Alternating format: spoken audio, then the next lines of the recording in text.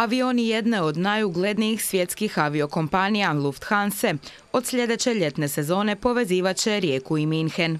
Uvode se i nove linije. Prema Manchesteru i Londonu letit će TUI Airways, a Volotea će letiti iz Rijeke prema drugom po veličini francuskom gradu Marseju. Za sada vrlo skromno jedan put jedno, ali je bitno to da je to prva redovita linija. Volotea je jedna od ovih malih low cost kompanija koje vrlo brzo rastu i jako je dobro na početku ući u njihovu mrežu. TUI Airways, ali to je vrlo bitno da jedan takav veliki, reći ću danas možda jedan od najvećih tur operatora sa svojim zrakoplovnim kapacitetima otvara i to tržište koje nam je do sad bilo jako teško otvoriti, to je englesko tržište. Bitno je to ne samo zbog turista koji dolaze na Kvarner, već i naših građana kojima ove destinacije, kao i već postojeće, omogućavaju lakšu povezanost s cijelim svijetom. Možete doći sa Kroacijom eh, do Minhena, dva puta tjedno za Minhen, dva puta tjedno za Düsseldorf sa Eurowingsom. Preko Minhena i Düsseldorfa možete dalje u svijetu, to je osobito važno, vjerujem i za naše poslovnjake, za dolazne turiste, za našu dijasporu.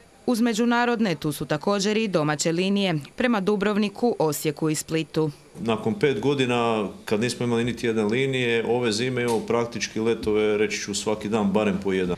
A rekordi oboreni u listopadu najavljuju da popunjenost letova može biti vrlo dobra i u zimskim mjesecima.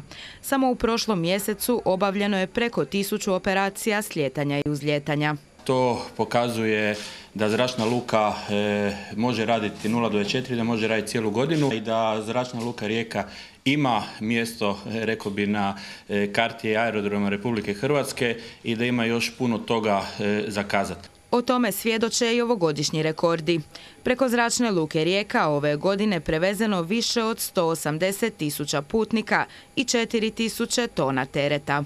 Naravno da su to sve brojke u odnosu na potencijal skromne jer e, samo sa jednom izmjenom PSO-a, sa jednim potpisom e, resornog ministra mi bi mogli dobiti još 200 tisuća putnika, to je otprilike ono što, što Split ili Dubrovnik imaju sa pozicije PSO-a. U proteklih sedam godina Županija je u zračnu luku Rijeka, što u infrastrukturu, što u udruženo oglašavanje, uložila 8,5 milijuna kuna. I svaka je kuna, naglasio je Boras Mandić, opravdana. Samo u ovoj godini prihodi iz zračne luke doseći će 27 milijuna kuna.